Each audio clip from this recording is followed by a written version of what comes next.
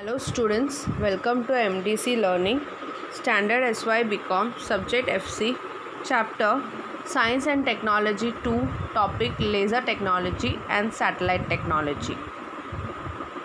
In this video, we are going to understand about laser technology as well as satellite technology.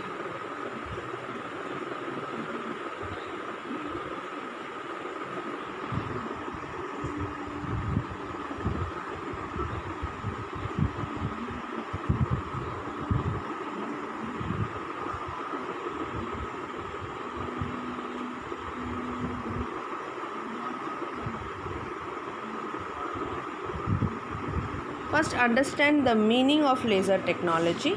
A laser is a device that emits a beam of coherent light through an optical application process.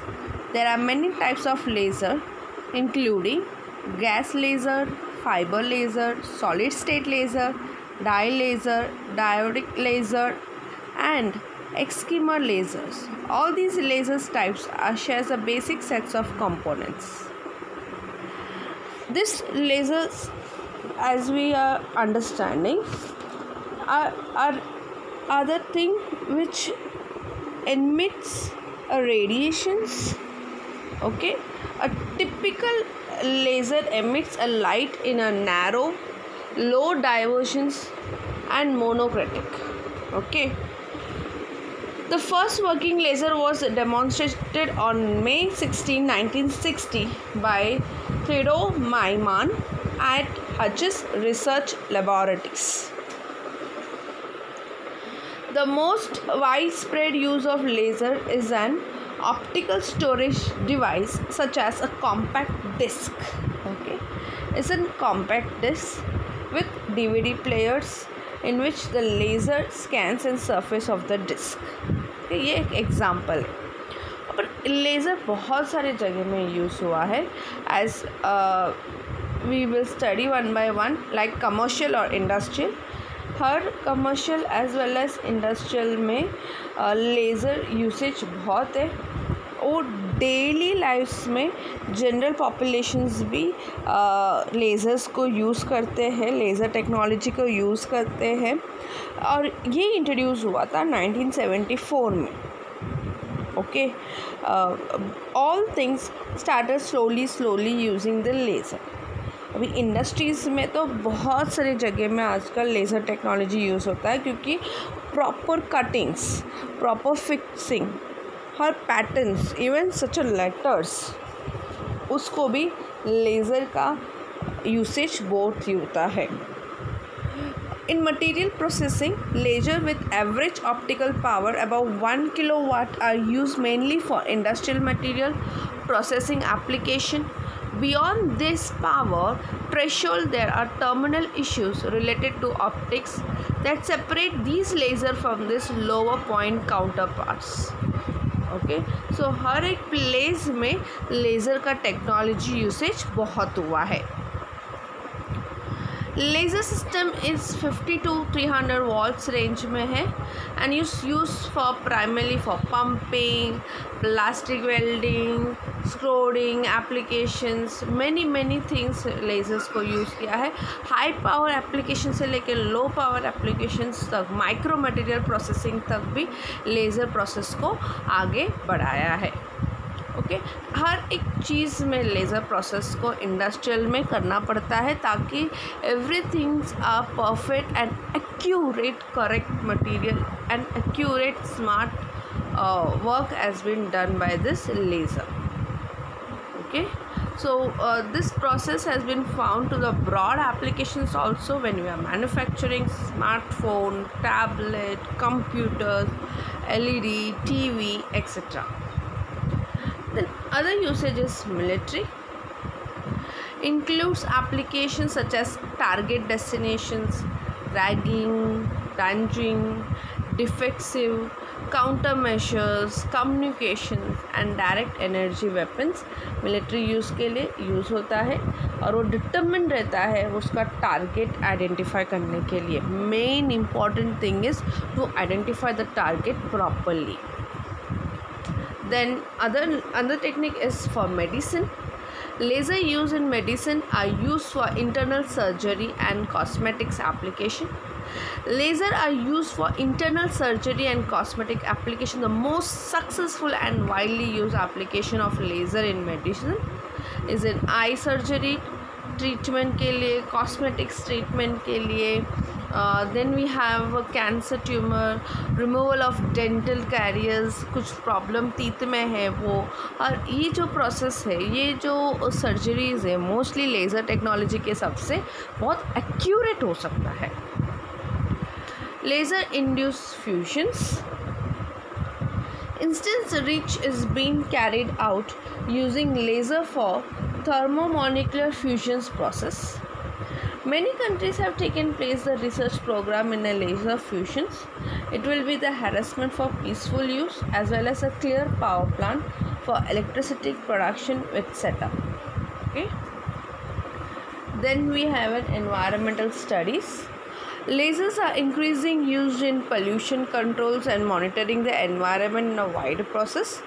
Laser can be used for the remote sensings and pollutions without collecting the samples the basic techniques of laser is to send a beam of light in the basic technique to atmosphere and to study the scattered or reflected light on a transmitted light मतलब to study accurate light कि कितना इसके वजह से क्या pollutions increase हो रहा है क्या किस तरीके से मॉनिटर करना चाहिए हर एक चीज़ एक्यूरेटली इन्फॉर्म होता है in short a perfect identification perfect knowing of any product जो अपन मैन मेड प्रोडक्ट है, उसको man made as well as natural to okay उसको क्लियरली आइडेंटिफाई करने के लिए लेज़र एक गुड टेक्नोलॉजी है।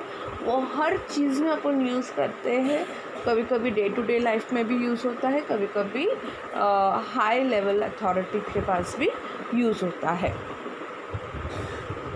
Then we have holography holography अगर आप ये पिक्चर्स को अच्छे से देखो is in from three dimension process okay और ये बहुत पावरफुल टेक्निक है.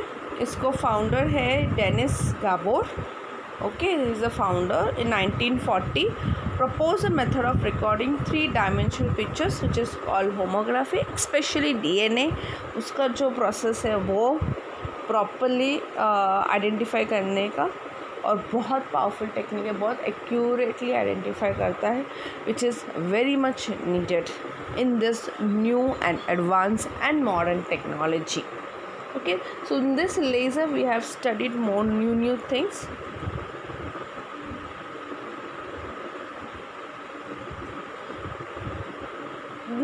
Let us understand about the satellite technology? Laser technology का जैसा सैटेलाइट टेक्नोलॉजी पहला उसका मीनिंग क्या है वो समझते हैं। Any body that moves around another one in mathematically critical part called an orbit okay उसको ऑर्बिट बोला जाता है। कोई एक एक्स्ट्रा बॉडी अर्थ से घूम रहा है तो।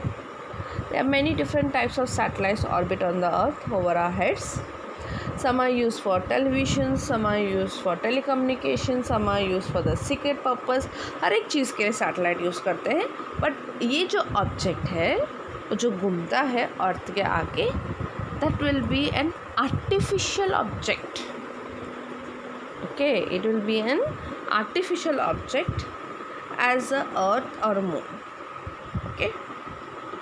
अभी इसका यूसेज भी अपन को पढ़ना पड़ेगा क्या क्या यूसेज होता है। It's mainly use for this weather satellite provide meteorological with ability to see weather on a global scale allowing them to follow the effects of phenomena like volcanic eruptions and burning gas and oil field and development on a large scale systems okay इसमें अगर अपन देखेंगे तो weather climate को properly identify करके दिखाने के लिए वेदर वेदर क्लाइमेट को प्रॉपरली बताने के लिए ये सैटेलाइट टेक्नोलॉजी बहुत यूज़फुल है। ये जो वेदर क्लाइमेट है, ये सिर्फ़ और सिर्फ़ इंडिया का या पाकिस्तान का या चाइना का, ऐसा नहीं ऑल ओवर दी वर्ल्ड बताएगा। Then navigation this navstar global position system okay, enable anyone with the handheld receiver to determine a location to within a few meters. Within few meters, you can see 100 meters के अंदर आपको मालूम पड़ेगा कितना vehicles है। जैसा अपना signals मालूम पड़ता है, जैसा अपना ट्रैफिक्स मालूम पड़ता है, वो ये सैटेलाइट्स का माइल्स स्पेस से ही मालूम पड़ता है। इससे अपन को सिग्नल मिलता है सेलफोन्स में और अदर डिवाइसेस में सिग्नल्स मिलते हैं। और ये अपन को बराबर बताता है, जैसा अपन मैप ओपन करते हैं तो जैसा होता है ना आजू बाजू का क्या बोलते हैं नियरेस्ट रेस्टोरेंट क्या है business railway stations airport etcetera all are position to locate roads with traffic jams ये सब चीज़ ये नेविगेशन से ही मालूम पड़ता है। वेदर क्लाइमेट कितना ख़राब है, वो भी एक टिप जैसा मालूम पड़ता है। Then satellite is used for the development process. It's increasingly important to the developing world for a country like india which populations separate by rough terrorism and different language rough terrain and satellites provide remote population access to education and to the medical expertise. Okay? That would otherwise would not reach them Earth observation satellites also allow developing countries to practice informed resources management and relief agency to follow refuge population migration.